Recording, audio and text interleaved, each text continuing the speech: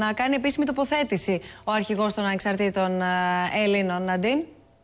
Ναι, καλή σας μέρα. Γι' αυτό ενημερωθήκαμε κι εμείς μόλις πριν από λίγο ότι γύρω στις 12.30 το μεσημέρι ο κύριος Καμένος, ο πρόεδρος των ΑΝΕΛ, θα προσέλθει στη Βουλή για την ε, συνεδρία της κοινοβουλευτικής ομάδας ε, του κόμματος και πριν από αυτό θα προχωρήσει σε δηλώσεις ε, στις τηλεοπτικές κάμερες στο περιστήλιο της Βουλής.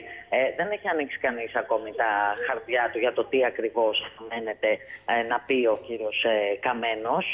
αυτό που μας ανέφεραν ήταν για όλες τις τελευταίες εξελίξεις.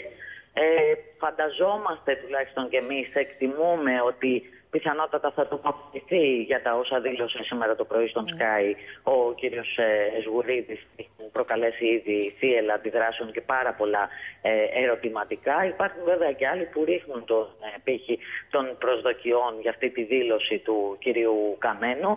Μένει να δούμε ε, τι θέλει ο ίδιος να πει, διότι πρέπει να σου πω ότι δεν συνηθίζει πάνω Καμένος ε, να προχωρά σε τέτοιες κινήσεις.